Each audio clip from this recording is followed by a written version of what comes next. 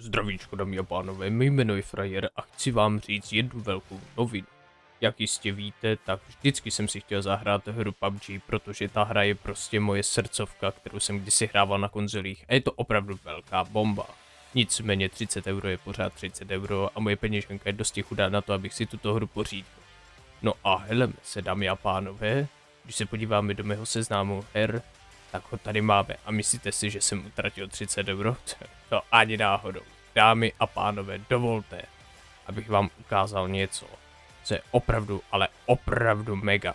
Je to na hlavní stránce Steamu, jakmile si na to takto kliknete, tak máte hru PUBG zdarma a to už definitivně. Takže vy, kteří jste utratili 30 euro, dostanete speciální balíček a vy, kteří jste si hru ještě nepořizovali, protože byla moc velká cena nebo tak něco, tak teď máte jedinečnou příležitost ji přidat do Steamu.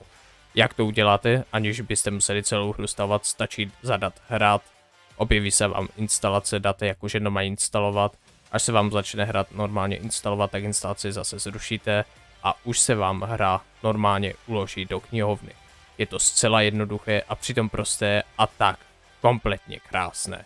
Za mě asi za tento rok je to zatím asi nejlepší chvíle, protože jsem právě ušetřil 30 euro free. No není to super, dámy a pánové, já si myslím, že ano. Odkaz bude určitě dole v popisku videa, pokud byste to nechtěli hledat.